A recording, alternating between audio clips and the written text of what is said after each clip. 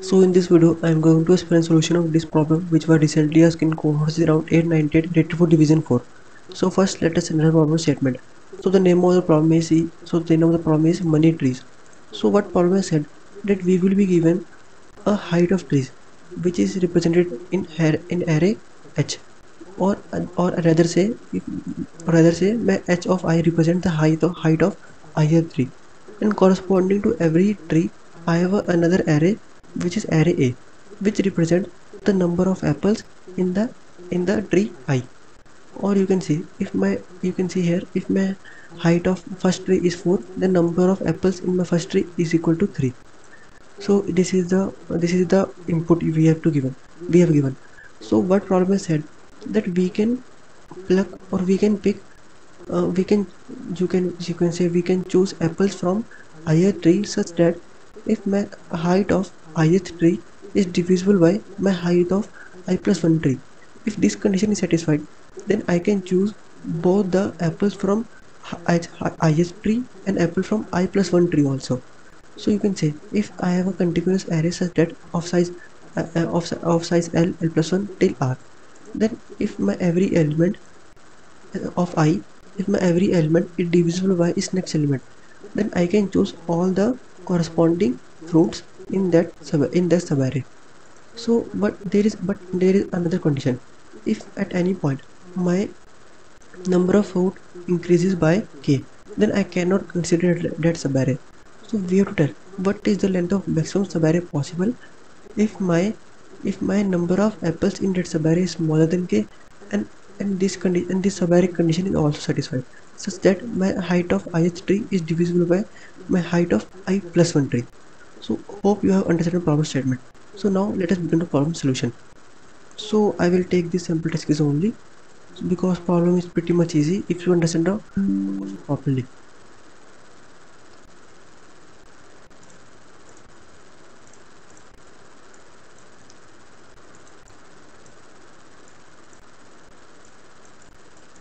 So you can see here. So you can see if I took my subarray this so you can see this is a height h and this is a subarray this is a height h and this is given as uh, apples in my ith tree.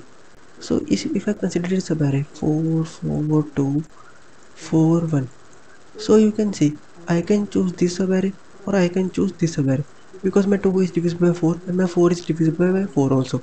And you can see my 1 is divisible by 4 so which means I can choose 2 3 4 1 8 so which means I can choose answer from this subarray or I can choose answer from this subarray so keep it here only. Now let's begin to the next next input. I will commit back later to it.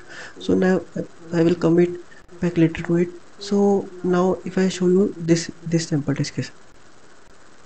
So in this I have like 6 2 3 1 in this I can choose either this subarray because my 2 is divided by 6 or I can choose either this subarray because my 1 is divided by 3 which means I can choose 4 5 1 2 or rather say I can choose this subarray or I can choose this subarray similarly you can see in this subarray you can see it is 2 2 4 and corresponding I can choose the whole subarray which is 7 9 and 10 because my or sorry which means I can choose this subarray or this individual element also because my individual element is, is can can also be answer possible.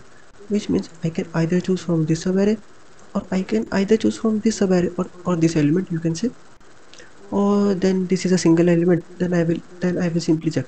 If my element is smaller than or equal to k then I will simply print uh, 1 or else I will simply print 0 but now if I come to the, this last test case you can see my this whole subarray because my 2 is divisible by 4 4 is divisible by 4 and similarly my all the numbers are divisible from each other which means I can consider this all as a subarray so you can see there is a pattern here.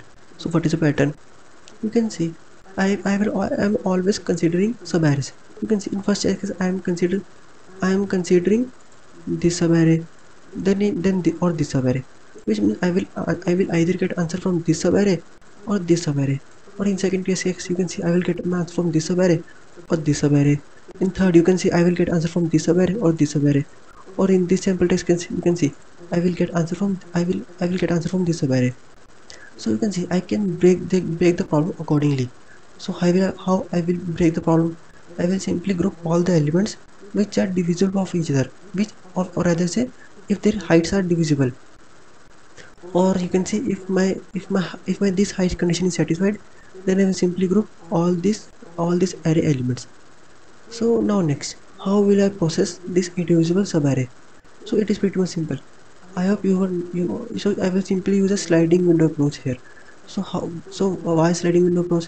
Because I have to tell maximum length of maximum length of subarray possible such that its sum is smaller than or equal to k.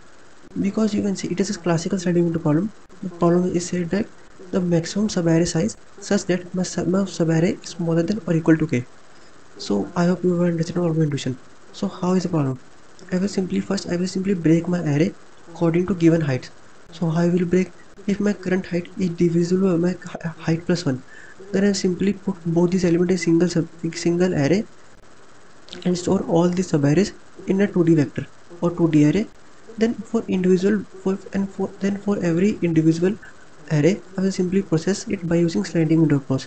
And by sliding window approach I will simply try to find the maximum length of subarray possible such that the sum of its element is smaller than or equal to k.